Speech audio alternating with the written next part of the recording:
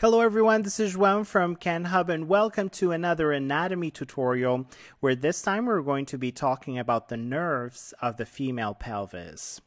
Now the innervation of the female pelvis involves both somatic nerves for then motor and sensory functions and also visceral nerves or autonomic for then innervation of the viscera or the organs.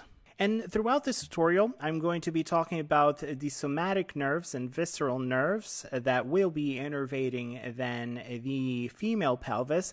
But I will be using this image here of the cut female pelvis that we're now looking at. And you see here a few organs retracted, namely uh, the rectum and the uterus. You can also see here the urinary bladder and all these yellow strings here that are then the different nerves that we're going to be highlighting and describing throughout this tutorial. So let's start with the somatic nerves that are responsible. Hey guys, as you can see, this video is a preview, which is reserved to KenHub Premium members. Why not become one today?